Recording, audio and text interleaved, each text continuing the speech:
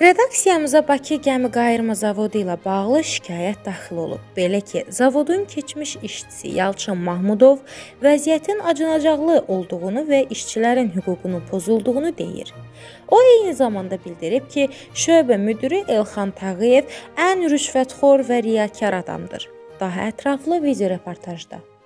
Mahmudov Yalçın Sabiroğlu 2020-ci ildən deməli Bakı gəmi qayırma zavodunda işləmişəm. E, yəni kollektivdə işləmişəm, çalışmışam.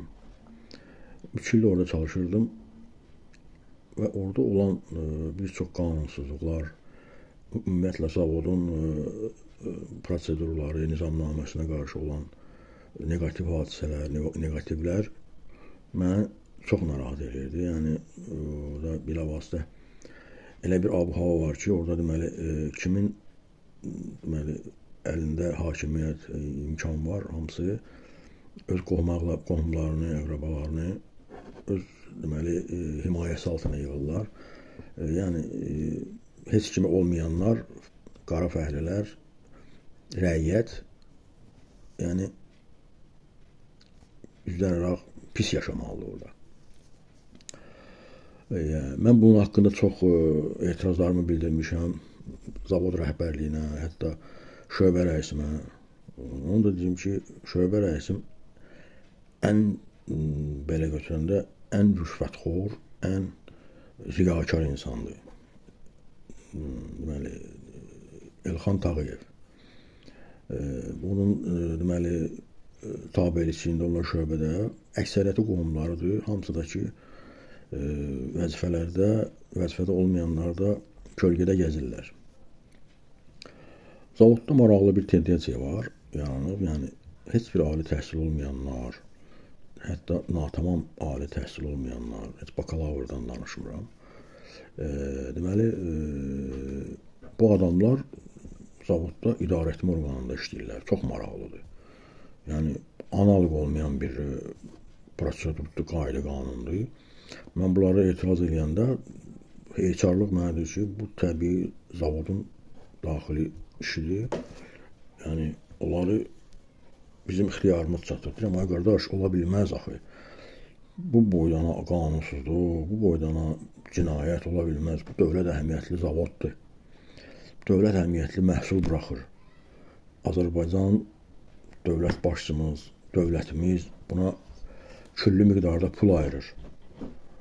Yəni nətər ola bilər ki, bunu heç bir mütəxəssis olmayan, zavod e, e, elminə aid olmayan, təhsil olmayan insanlar bu idarəetmə orqanında rəhbərlik eləyə bilərlər. Yəni bu mümkün olan şey deyil. Əgər bu bir hadisə olsa, insan həyatıdır. Bu boyda milyonlar xərclənir bu e, deməli ictimai əhəmiyyətli e, məhsula, cəmiyə.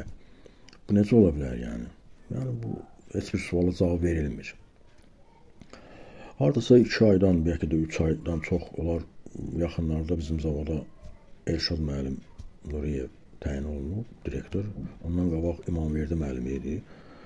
Demək olar ki, qohumbazlığı, nətər deyirlər, əqrababazlığı ilk, yəni demək, dəvə salan elə İmamverdi müəllimin özü olub.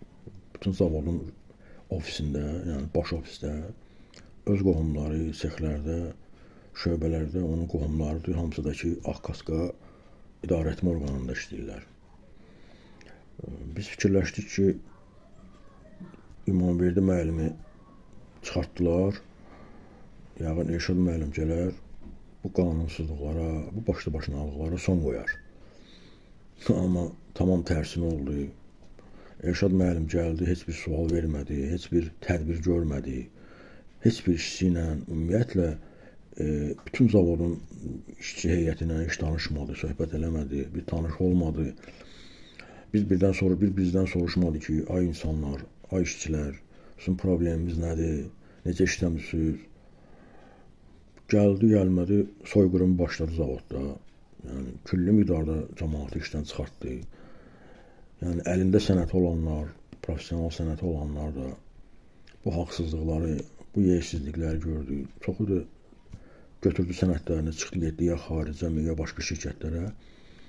Zavod qaldı o naşı ustaların əlində. Düzdür, hamısına demək olmaz. Yəni orada şükür Allaha ki, bəlkə 1, 2, 3 ya 5 yəni mütəxəssis qalıb. O da fəhlə sinifindən, ustalardan. Ağqaskalar demək olar ki, yəni deyirəm 100%-dən 70%-i ağsaqqalların heç biri o sahənin mütəxəssisi deyil. Yəni bizdən qabaq işləyən xarici vətəndaşlar ki, olub orada mütəxəssislər, onlardan bir balaca nə götürüblərsə, onu da tətbiq edirlər. Amma belə elmi heç birinin elmi təhsili, yəni bakalavr, bakalavr təhsili, ali təhsili yoxdur o sahə üzrə. Olan da azdır. Hmm, bu yaxınlarda artıq gördüm ki, yəni o şey ixtisarlar çoxalır. Hiss elədim ki, bu yaxınlarda mənim də deməli e, ixtisarımın vaxtı gələcək, kontraktimin vaxtı gələcək daha doğrusu. Belə qərara, qərara gəldim ki, Elşad müəllim Nuriyevlə qəbuluna gedim, bir ona bir ona söhbət eləyim ki, yəni bu nə nə, nə olan şeydir də.